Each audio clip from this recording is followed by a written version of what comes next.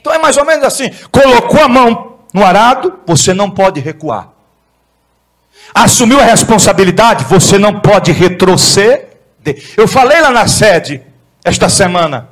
Servir a Deus é desafio. Quando você levantou a mão para o céu e disse, Eu aceito Jesus, porque a gente fica tão emocionado quando faz aliança com Jesus que vem, Oh meu Pai, que maravilha, oh meu Deus, eu quero aceitar Jesus. Diga, diga, eu aceito, eu aceito. Escreve o meu nome no livro da vida, oh, que maravilha. Está escrito já, tá, já escreveu, já, oh, que maravilha. Agora é só vitória, agora é só maravilha, oh meu Pai. Agora que eu vou vencer mesmo, oh, meu pai. Você sabe o que, que aconteceu nesse mesmo dia? Vou lhe explicar o que, que aconteceu nesse mesmo dia.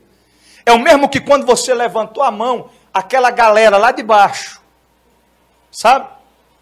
A gangue dos demônios, olhou de longe, olhou de longe e disse: Ah, é? Ah. Começar pelos que estão tá rindo mais aqui. É Israel?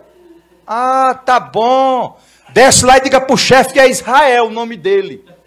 Para anotar lá no caderno luciférico. Desce lá.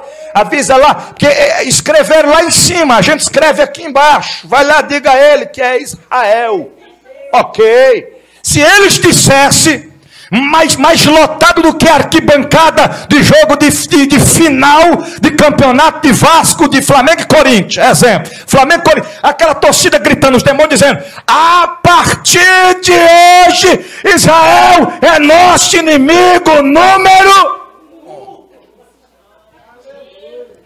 Aí você acha que ia, ia, ia ficar tudo normal? Ia ficar. Não, não, não ia ficar, não.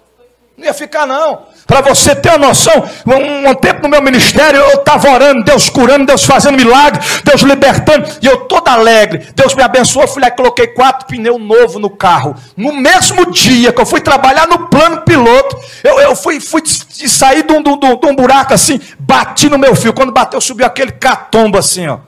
Eu desci do carro e olhei. Zero. Não. 400 conto o pneu. Eu olhei, botei a mão na cabeça e disse: Meu pai, agora, o que, que é isso? Se eles falassem, eles diziam: Foi nós, viu? E nós vamos fazer mais, viu? Fica esperto. Nós anda de redor, viu? Anda procurando alguém para ceifar, e tu é o próximo. É desse jeito, irmão. Você está entendendo? Servir a Deus é desafio. É dia e noite o diabo dizendo: Eu vou matar, eu vou ferir, eu vou acabar com ele, eu vou acabar com ela, eu vou despedaçar. É desse jeito.